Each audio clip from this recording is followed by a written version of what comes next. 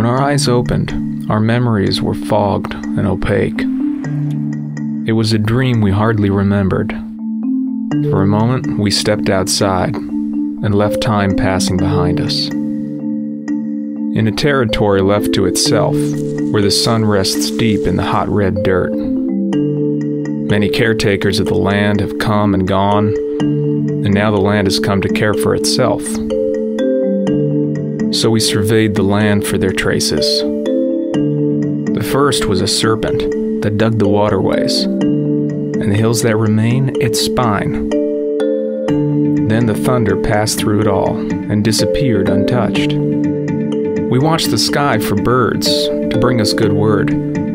We sang a song for them by the water's edge and cast sand into the flow to show our thanks. When the rains came down, the beasts were driven from their hiding places, and all of them watched the night frozen by lightning. With the sun reaching its red home, we built a fire, and the smoke washed over us and told us of tomorrow's rainbows.